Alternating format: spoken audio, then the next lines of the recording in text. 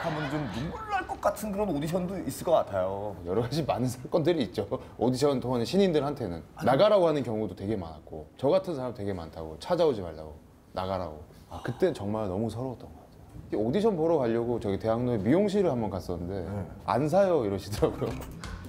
제가 캐리어를 끌고 갔었어요. 소품들을 넣어가지고 가위 파고신 거 아니에요 이러더라고요. 자 이제 본격적으로 자 실전이라고 생각을 하고 자 one two one two 열 번. 하나 둘셋 넷. 지금부터 대답을 하지 못하면 펀치 10번 추가됩니다. 야망남으로 유명하던데 나도 이제 대세 스타에 합류한 것 같다.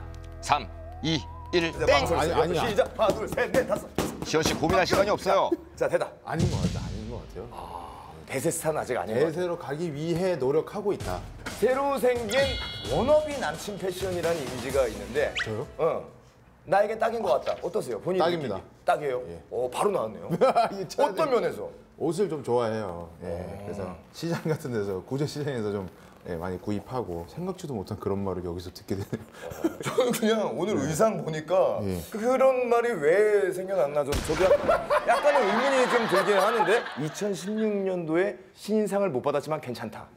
자, 자, 대답보다 먼저 반응한 넷. 추모. 아, 울컥한. 이시현 씨의 분노의 더 펀치. 좋은 상을 주시지 않을까 해서 신인상은 패스한 게 아닌가. 그러면 2017년에는 어떤 상 기대하세요? 개근상이라도 좀 부탁드려요.